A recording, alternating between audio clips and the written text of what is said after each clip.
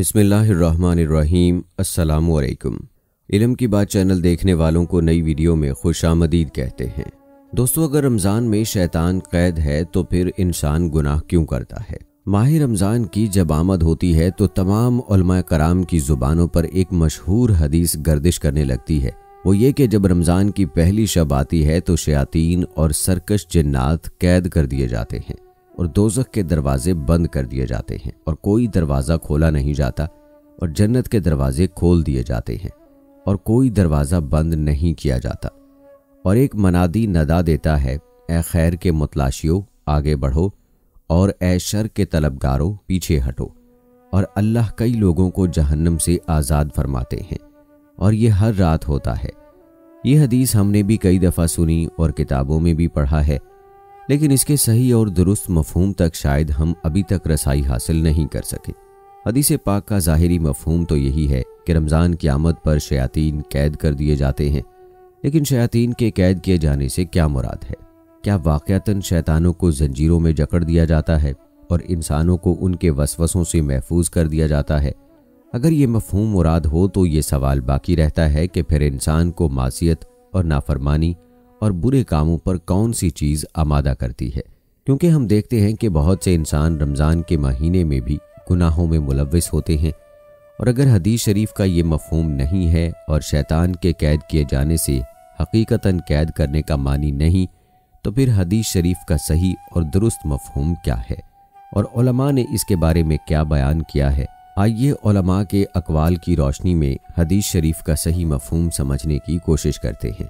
इंसान गुनाह क्यों करता है? सबसे पहले तो ये जान लेना चाहिए कि इंसानों से गुनाह क्यों सरजद होते हैं। कौन सी चीज़ गुनाहों पर उकसाती है? इंसानों को गुनाह की दावत देने वाली दो चीज़ें हैं। अव्वल तो शैतानी वसवसे, शैतान हर मुमकिन कोशिश करता है कि वो इंसानों को गुनाह में मुबतला कर दे। इसके लिए वो मुख्तलिफ़ हरबे और तरीके इस्तेमाल करता है। वो इंसानों के दिल में मुख्तलिफ़ वसवसे और ख्याल पैदा करता है। जिनको इंसान कबूल करता है और गुनाह में मुलविस हो जाता है। और दूसरी चीज़ खुद इंसान का नफ्स है, जिसे कुरान मजीद में नफ्स अम्मारा से ताबीर किया गया है।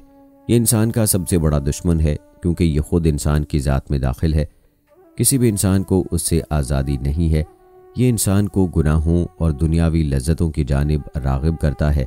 इसको काबू में करने के लिए बहुत ज़्यादा मेहनत और रियाजत की ज़रूरत पड़ती है।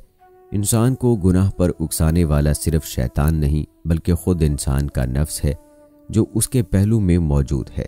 चुनाचे बहुत से ओलमा कहते हैं कि रमज़ान में शयातीन को कैद कर दिया जाता है, जिसकी कैफियत और हकीकत अल्लाह ताला ही को मालूम है।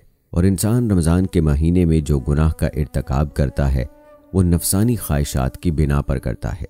यानी उसका नफ्स ही उसे गुनाहों की रगबत दिलाता है। और इंसान उस पर काबू पाने की सूरत में उसका गुलाम बन जाता है और उसके इशारों पर चलने लगता है।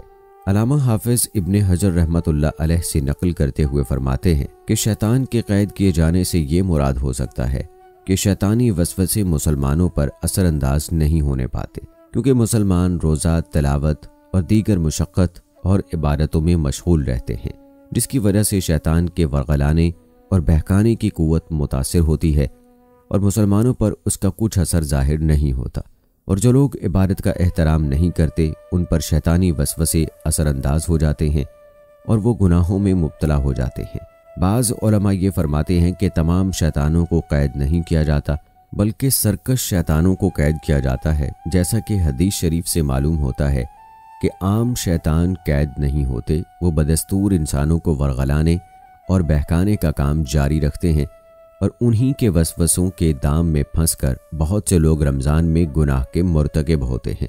बाज़ा कहते हैं कि शैतान ग्यारह महीने इंसानों पर अपना असर डालता रहता है और यह असर इंसानों के अंदर इस कदर भर जाता है और मज़बूत हो जाता है कि शैतान एक माह कैद भी रहे तो उसके डाले हुए असर के नतीजे में इंसान गुनाहों में मुबतला रहता है।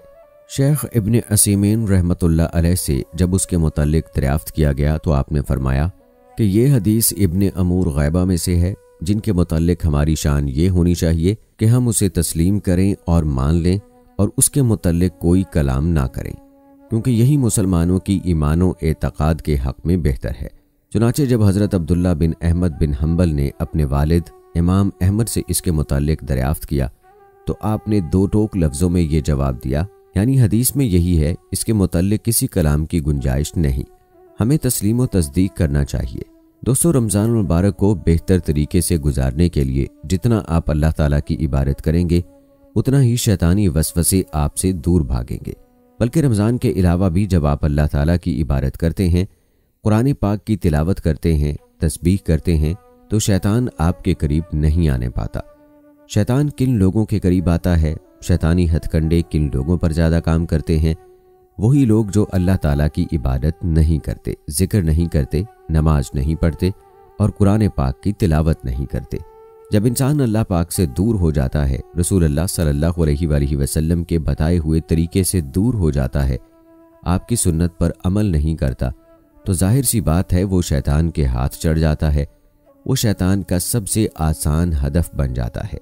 इसलिए जब तक इंसान अल्लाह ताला की इबादत करता रहता है अल्लाह ताला का ज़िक्र करता रहता है, नमाज़ पढ़ता रहता है। शैतानी वसवसे उस पर असरअंदाज नहीं हो सकते। शैतान उससे दूर भागता है। काफ़ी हदीसों में हमने पढ़ा है कि जब हम अल्लाह ताला की इबादत करते हैं, जब हम ज़िक्र अजकार करते हैं तो शैतान हमसे दूर भागता है। माह रमज़ान बरकतों वाला महीना है और इस माह की अजमत का अंदाज़ा इस बात से लगाया जा सकता है कि कुरान मुक़दस का नजूल इसी मुक़दस महीने में हुआ। रमज़ान का पहला अशरा रहमत, दूसरा अशरा मगफरत और तीसरा अशरा जहन्नम की आग से नजात का है। दोस्तों, जब रमज़ान का चाँद नज़र आता है तो हजूर पाक सल्लल्लाहु अलैहि वसल्लम फरमाते हैं, ये चाँद खैर बरकत का है, ये चाँद खैर बरकत का है। मैं उस ज़ात पर ईमान रखता हूँ, जिसने तुझे पैदा फरमाया। आखिर में दुआ है कि अल्लाह पाक हम सबको समझने और रमज़ान मुबारक को सही तरीके से गुजारने की तोफ़ी अता फ़रमाए। और इस मुबारक महीने में हमारे गुनाहों की बख्शिश और मगफरत करे और ज़्यादा से ज़्यादा नेक आमाल करने की तोफ़ी अता फ़रमाए। आमीन। या रब्बुल आलमीन। तो दोस्तों, ये थी हमारी आज की वीडियो। उम्मीद करते हैं कि हमारी आज की ये वीडियो आप सबको ज़रूर पसंद आई होगी। वीडियो पसंद आने की सूरत में इसे लाइक करें, शेयर करें अपने दोस्तों के साथ और नीचे कमेंट्स में अपनी राय का इजहार लाजमी कीजिए। जाने से पहले ये कंफर्म ज़रूर कर लें कि आपने हमारा चैनल सब्सक्राइब किया है या नहीं। अगर नहीं किया तो अभी हमारे चैनल को सब्सक्राइब कर लें। साथ में बेल आइकॉन को प्रेस कर दें ताकि आने वाली तमाम वीडियोस का नोटिफिकेशन आप सबको वक्त पर मिलता रहे। मुझे दीजिए इजाज़त। मिलते हैं आप सबसे अपनी अगली वीडियो में। फ़ी अमान